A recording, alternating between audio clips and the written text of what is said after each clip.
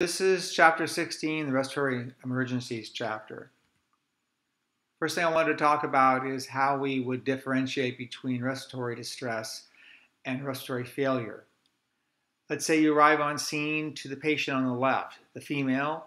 She has a history of emphysema. She's having some kind of uh, respiratory infection going on. She presents initially with a breathing rate of 40 times a minute. It's labored.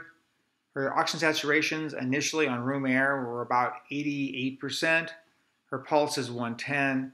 You apply high flow oxygen to her at 15 liters per minute via the non rebreather mask, and her saturations rise to 95% on the oxygen. So, what's that telling you? It's telling you that the mechanism that allows her body to absorb oxygen and exchange gases at the alveolar level is still functioning she's still able to get the oxygen into her bloodstream. So she's still able to compensate for her respiratory difficulties. The gentleman on the other side here on the right, he presents, you arrive on scene, he presents initially pretty much the same way. His saturations are 88%. He's still breathing 40 times a minute. It's labored. His pulse is 110. You put him on high flow to O2, and his oxygen saturation stays at 88%. So now that should be telling you that this guy is in failure because his body is failing to compensate for his difficulty. The mechanism that allows gases to exchange is failing. And now, more than likely, this guy in the next few minutes, you're going to wind up having to do bag valve mask ventilation on this guy. He's uh, becoming a candidate for positive pressure ventilation. If we don't intercede on this gentleman quickly enough, or we don't do it effectively enough, or we don't get there in time, they can develop into respiratory arrest. Uh, I'm sure some of you out there have uh, been an athlete. You ran track, football, basketball, uh, field hockey, soccer, whatever it might be, and more than likely you've experienced uh, muscle failure. Basically, you get so tired you can't continue you, you wear yourself out from exercising. Imagine yourself having difficulty breathing to the point where you have to use all those accessory muscles to, to breathe, to try to stay alive. Remember, remember, the muscles that we breathe with, the skeletal muscles, the intercostal muscles, the diaphragm, they're the exact same muscles that are in your arms and in your legs. They, they function the same way.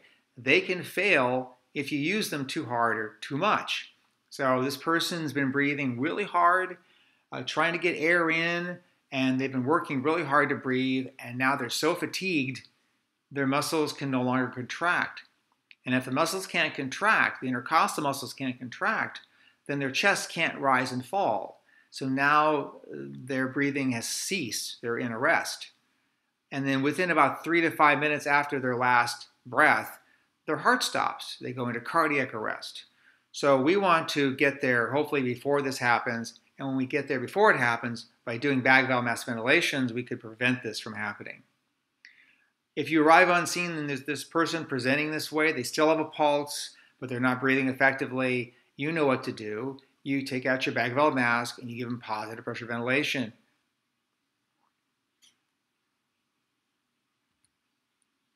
Now, there's a number of conditions uh, this chapter covers, uh, respiratory distress conditions, essentially.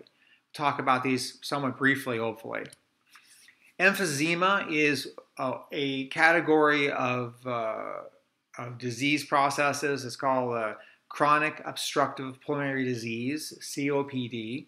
Uh, this is caused usually by smoking cigarettes. It takes years and years to occur and the lungs themselves, including the alveoli, like you see here in this picture, the alveoli becomes stiff and distended, and it can't really uh, hold the same amount of air that it did before, and it can't it cannot exchange gases, both carbon dioxide and oxygen, as well as it did before the disease set in.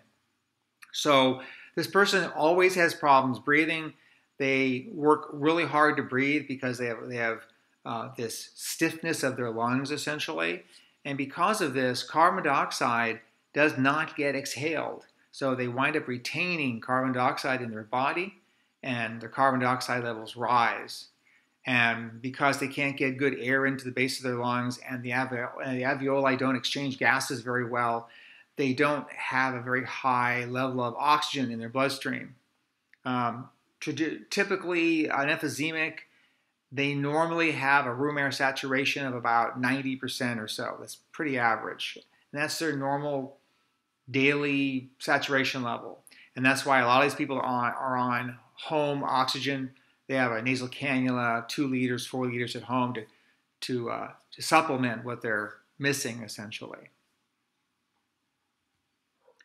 These people present as usually older people. They're thin. Um, they call them they call them uh, pink puffers uh, because they have a tendency to have a pink tinge to their skin, kind of an abnormally bright pink tinge. And what that is is is it's the carbon dioxide they're retaining.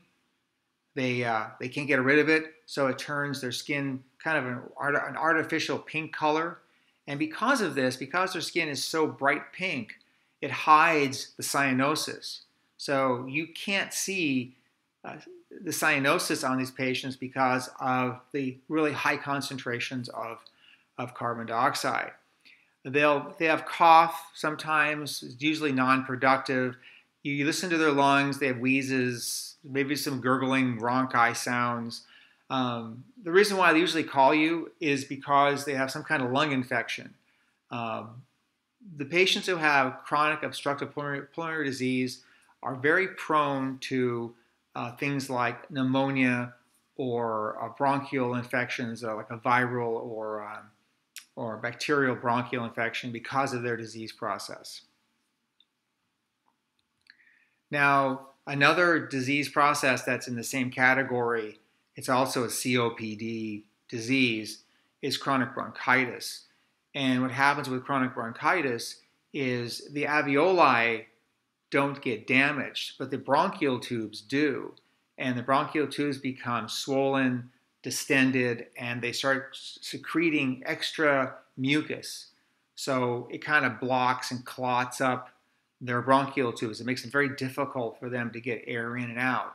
But the alveoli are still functioning, so they're still able to exchange gas. So chronic bronchitis patients do not trap the carbon dioxide that the emphysemic do. So these people are called blue bloaters, and traditionally, usually they're overweight, and you'll see the cyanosis. You'll see the, the blue lips and the blue nail beds and the blue uh, eyelids and things like that on them because they don't have that carbon dioxide to mask the cyanosis. And they're chronically cyanotic and they're chronically low on oxygen as well. Probably again in the 80s or 90s is normal for them. And they're probably on all kinds of medications for this, including oxygen essentially.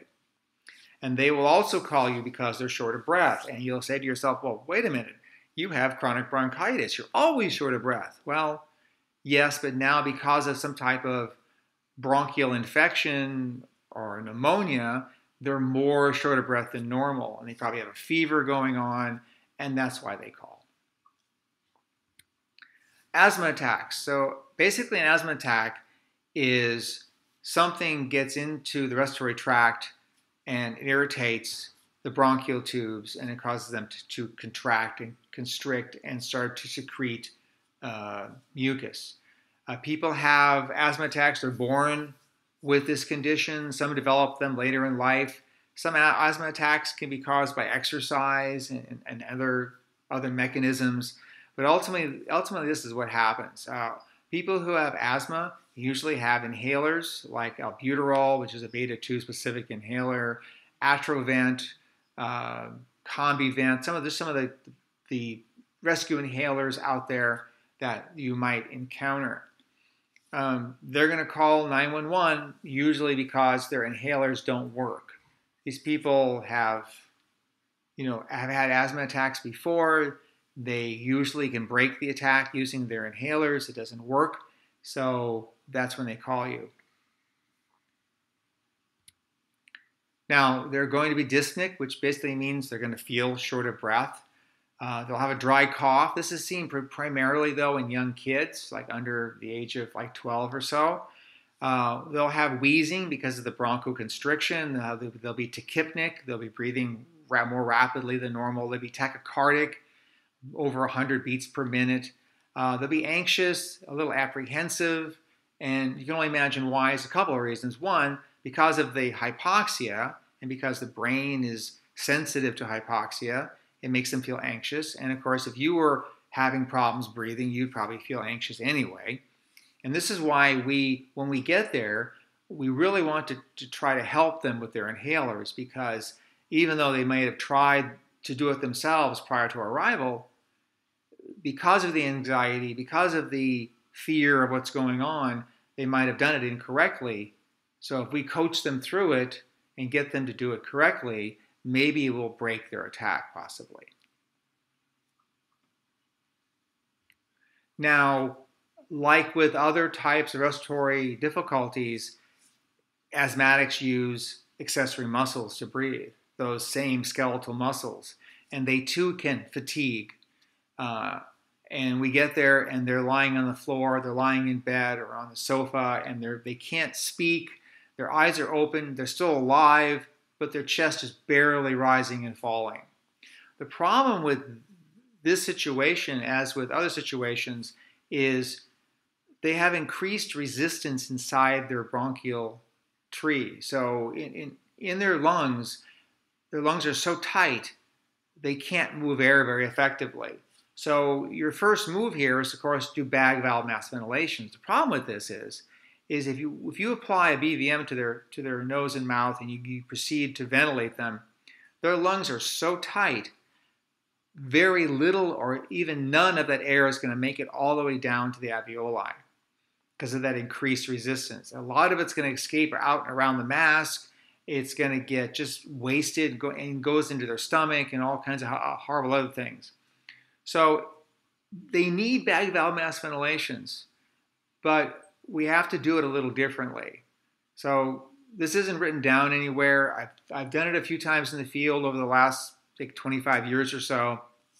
What you do is you get your bag valve mask, and of course you'll put a nasal pharyngeal airway in or something like that. Uh, and you have your partner, because you're always going to have a partner with you, or worst case scenario, a security guard or whoever might be there to help you.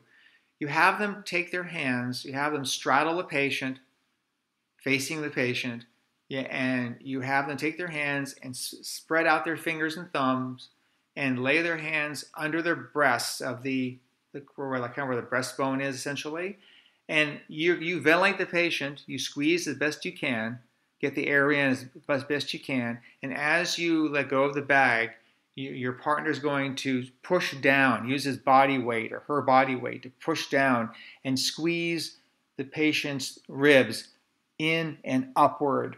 And what you're doing, you're artificially exhaling this patient's air from their lungs. So they're squeezing this air out of the patient's lungs artificially under a much greater, higher pressure than the patient can do themselves. And you're forcing all that air out of their lungs, which leaves a negative pressure inside their thorax. So on that very next breath that you deliver, when you squeeze that bag, what you're going to notice, it's going to go in a lot easier because it's now being sucked in by that negative pressure created by that that that chest compression, I guess, if you want to call it that. We're not doing CPR. This is this is not the two-handed CPR like you learned, you know, uh, 30 to 2 and all that. This is you, you place your hands, you, spread your fingers out over their rib cage uh, with your thumbs on their sternum, and you're just going to squeeze in. Use the, your body weight to do so, and then as you let up, take the weight off the chest. Allow your partner to ventilate that patient. It, it works. Um, don't worry about one every six seconds or one every five seconds. Just worry about getting in as many breaths safely as you can within the time period of a minute or so. So if you can get five or six breaths in a minute doing this, that's totally bitching. Now, pneumonia, pneumonia is, is highly contagious. So if you suspect someone who has pneumonia, whether it's bacterial or uh, viral. Uh, put a mask on yourself and also on the patient as well. Uh, this is a, a, airborne transmission. People they they cough, they breathe this stuff out. We breathe it in, and we get sick. Um, signs and symptoms of pneumonia. Uh, usually, it's going to be a fever. They can have chest pain. Uh, they get very dehydrated. Uh, their urine can be very dark as well. They get very weak. They can't walk. They're unable to ambulate because they're so weak and so worn out from this. Um, you can listen to the lung sounds, and what you might hear, you might hear clear lung sounds everywhere except one area, and you'll hear crackles in that one little area of some point in their lungs, and that's the plume of bacteria that's developed in there and that's causing that crackling effect, which is causing you know, their problem essentially. Put them on oxygen, it's, it's very appropriate. Uh, and again, uh, put a mask on yourself. Uh, pulmonary emboli. So I'm sure you heard about the people who uh, fly in an airplane for 19 hours to Tokyo and they get off the plane and then they die. Or someone's been lying in bed for weeks and weeks and weeks due to some kind of previous surgery, and they develop. What happens is they, they develop these blood clots, and the blood clots flow uh, float up to the lungs, and they occlude an artery in the lungs, and it shuts off the blood flow to that area of the lung. Um, if it's a small emboli, you can live, uh, some treatment, uh, and maybe some surgery if it's a large, massive emboli, they die within minutes of the, of the onset.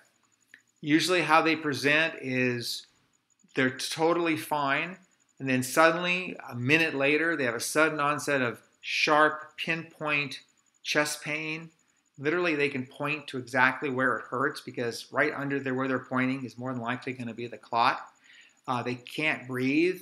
Their oxygen saturations are going to be low, like below 94%, definitely, and sometimes even below 90%. And they're going to have a history of either recent surgery, uh, prolonged uh, sitting in a chair for hours and hours and hours, or being bedridden, or something like that. Uh, if you listen carefully to that, treatment is rapid transport to the closest trauma center that can treat this. This is a if it's serious, it's treated with surgical procedures and you have to have a surgeon available to do it. So a trauma center is a really good facility because trauma centers have surgeons available 24 hours a day. Now, pulmonary edema, we've talked about congestive heart failure a few times already. So, pulmonary edema, the number one cause of this is, is cardiogenic in nature. It's usually from a heart attack. I think the number one uh, cause of congestive heart failure is a myocardial infarction, as a matter of fact, uh, heart attack essentially. So this fluid collects, it, it backs up from the left side of the heart, it collects into the lungs, and unfortunately it starts to flood around and in the alveoli, which blocks the, the gas exchange, making the person feel short of breath, which they actually are. Also, this could be non cardiac, which a drowning patient or someone who's aspirated fluids in their lungs uh, can have the same problem. Now, when it comes to signs and symptoms, uh, more than likely, their, their number one chief complaint with this is going to be difficulty breathing. Uh, that increases if they lie flat. So more than likely, they've been sitting up, maybe maybe even sleeping, sitting up, like straight up upright because they can't sleep laying back or laying down.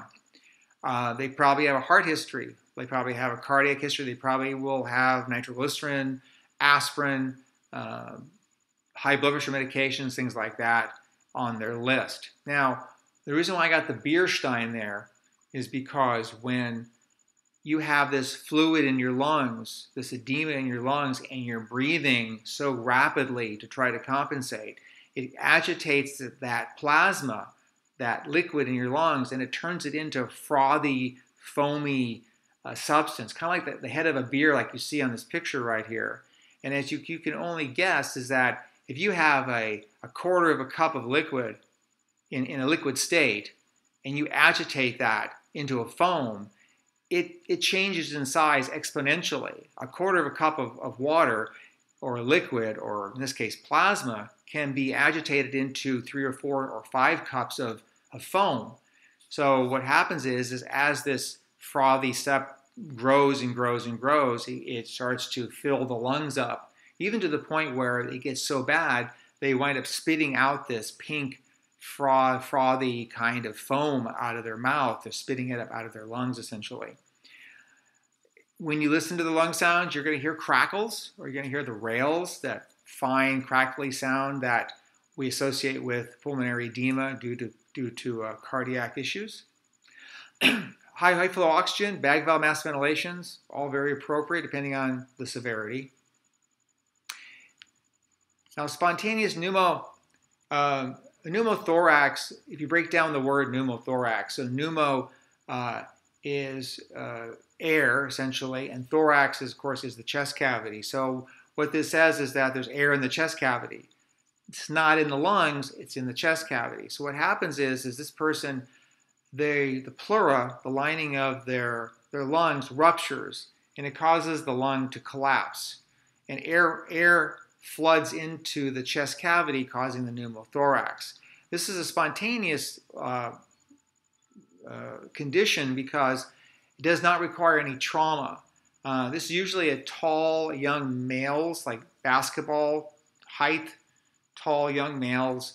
And what happens is, is as they're going through their growth spurts, as they're developing, you know, as a young child to a teenager to an adult, they go through their growth spurts and their lungs stretch and they get they get certain areas of their lungs that are weak or have been weakened by this growth spurt. And this is where usually these spontaneous ruptures occur. Uh, and they can just be walking down the street, they could cough too forcibly, uh, they can jump off of a, of, a, of a chair onto the floor and hold their breath. These are all calls I've been on with patients with this, and they just suddenly, their lungs will start to collapse, essentially. Provide them high flow oxygen. If you're listening to their lung sounds, more than likely on the affected side, you'll hear little or no air movement, but on the unaffected side, you'll hear good, clear lung sounds and their oxygen saturations will be low, probably below 94% for sure. And one of the other marked things I see is even when you apply oxygen, the saturations don't really go up very much. Another clue into all of this. But give them high flow too.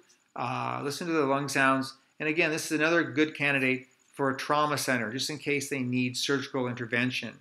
Um, normally, these things heal on their own. But if the, the, ble, if the bleb is, or the blebby is big enough, the hole is big enough, they have to go in and actually sew the thing up or remove that part of the lung.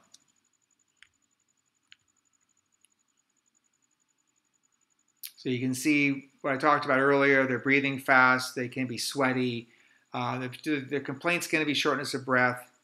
Uh, and again, this is going to happen very suddenly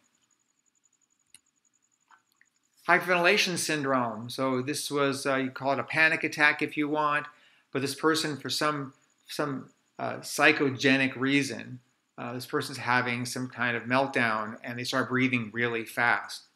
They're physiologically healthy people. The difference is because they're so scared or upset, they breathe really really fast and they blow off all of their carbon dioxide. Now the normal levels of carbon dioxide in a normal healthy person who's not hyperventilating is around between 35 and 45.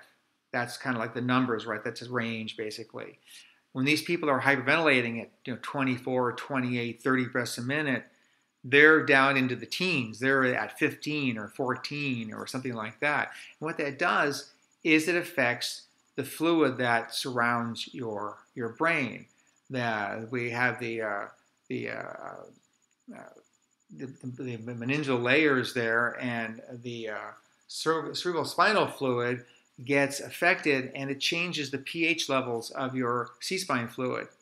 And it affects the, I think it's the, the, the pyramidal areas of, of your brain, which are actually control your muscles, or some of your muscles anyway. And what happens is is they start getting cramps to their fingers and toes, and it's called carpopedal spasms.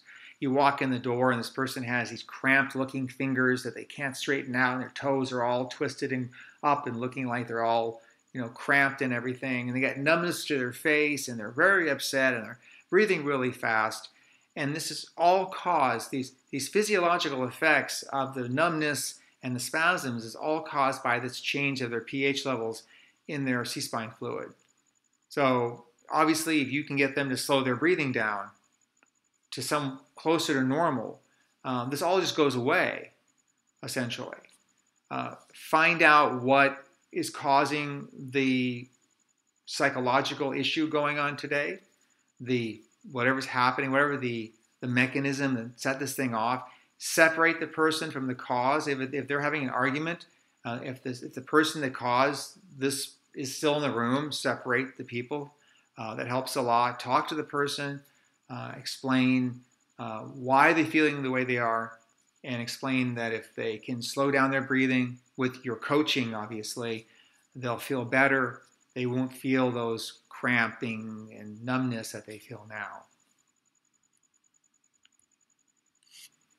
So when it comes to people hyperventilating, um, years ago, what people would do is they would they would give the patient a paper bag to breathe into, and the idea was is the person would breathe into a paper bag, they would retain their carbon dioxide, it would increase their carbon dioxide levels, um, and then they would feel better. Well, the problem is is that there are other types of conditions that mimic hyper, hyperventilation syndrome. So unless you're absolutely certain that this is hyperventilation syndrome, um, that would be a bad thing. Imagine if this person really had a serious respiratory problem, an actual physiological problem like asthma or or something like that, and you give them a paper bag to breathe in. Um, you could literally kill them. So we never put a paper bag um, on this person's face, you know, give them to them. And if they want oxygen, you're welcome to give it to them. They don't really need it. Their oxygen saturations will be 100% because they're breathing so deeply and so quickly. But if they demand it, it's not going to hurt them. It's not really going to make them any worse. Uh, it's just not really obviously recommended. Epiglottitis. So if you break this word down, the epiglottis is that little flap in the back of your throat that covers the trachea every time you swallow. It's attached by a ligament to your tongue. Itis, of course, the suffix means inflammation of, so inflammation of the epiglottis uh, seen predominantly in uh, little kids, uh, though that's changed over the years because now most children are uh, get shots to prevent this from happening. Um, but what happens is, is usually this is caused by some type of bacterial infection, and it swells up. The epiglottis swells up. And remember from our uh, anatomy class that on a small child, their tongue is larger, the epiglottis is larger, their mouth is smaller. So their airway is much smaller, and this epiglottis swells up, and it, it can actually completely occlude their airway. And you know, 20 years ago, there was a, a 50% mortality rate with epiglottitis. So half the kids that developed this died. Well, luckily now with these the immunizations they get and our aggressive treatment with this, it's it's a lot better now. But once that epiglottis swells to the point where it occludes their trachea, we can't even do bag valve mask ventilations on them. Their airway is completely blocked, and they, and they do die. So uh, take them to the hospital. Be very gentle with them. Don't jostle them around. Don't look inside their mouth. Um, let them sit any way they want, anywhere they want. They're like the 500 pound gorilla uh, because if you if you make them walk or you jostle them around or you start sticking uh, your fingers in their mouth or something, you can actually stimulate the epiglottis to spasm and cut off their air. Take them to the closest emergency room, doesn't matter which one it is, and the doctor, if they need to, they can actually uh, trach the, the, the, child and provide a, another airway uh, through their throat. Cystic fibrosis is a, a congenital condition. Uh, the poor little guys are born with this. It's a hypersecretion of mucus that just doesn't stop essentially. And they go through these crisis uh, events where they hypersecrete even more than usual and they can't breathe. Their lungs are, our lungs are just filled with mucus and they can't breathe. They're usually on inhalers and different types of other uh, uh, medications like this. They just they need high flow O2, uh, if necessary, bag valve mask ventilations and rapid, tran- rapid transport to the nearest hospital uh, that can, uh, can, can deal with this. Uh, some of these kids, when they get older, they get lung. They actually, the, I think the only cure for this is a, is a, a lung transplant, uh, which is uh, is pretty rare. So they, they usually die pretty young. By the time, the time they hit about 20, they're or even before that, they usually have died from this condition. Now, little kids, pediatrics, specifically little kids under two years of age. Uh, as we spoke spoke of before, kids are basically nose breathers. So they breathe through their nose, and if the nose gets stuffed up, they have problems breathing. Anyone who has a cat or a dog who has gotten a cold, um, their noses get stuffy and they look like they're having trouble breathing. It's the same thing with a child of this age right here. So we will give them oxygen, obviously, um, but we can fix those blocked nasal passages. We have these bulb syringes you see in this picture right here, and we can we can suck the mucus from their nose, uh, their nostrils, to get them breathing again. It helps a lot. So if you have a child who appears, you have a child who's less than two years of age, and they have wheezes and they have obviously difficulty breathing, and there's some kind of uh, history of some kind of infection going on, and you notice that their both of their nostrils are just packed with mucus. If you can suck out that mucus, uh, it really takes care of most of their problems because they're just not happy breathing through their mouth. And all I have to say about this is signs of respiratory distress on a, on a child, infant, or adult are about the same. The uh, extra use of accessory muscles, wheezes, retractions, rapid breathing, grunting, those types of things. The difference with kids uh, is they get what they, they get what's called seesaw respirations. Now, a child of this age, around two years old and younger, they're belly breathers. If you ever watch a little toddler or a little baby breathe, their belly rises and falls, not their chest, because they haven't really developed their chest muscles yet.